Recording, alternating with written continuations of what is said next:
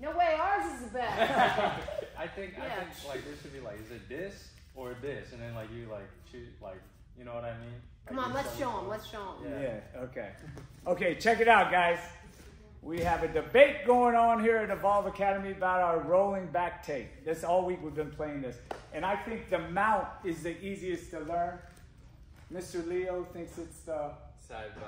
side body, and Miss Melissa thinks it's uh, turtle position. Let's see. So this one is the mount one. I think this is the simplest because all you gotta do is get this top hook. I'm gonna turn in. We're not gonna take the full back. I'm always gonna take the half. Yeah, I think it's easier to finish from here than going the full. So that's number one. You guys decide. Is it number two? This one's here from Turtle. She's getting the hook.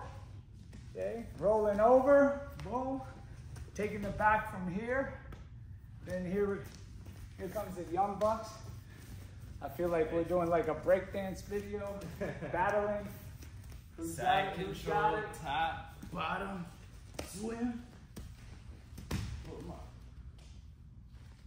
I must say though, that looks smooth. It looks pretty. I don't know. I think the the young must have pushing the old bucks out here. That was good. That was good. That was good.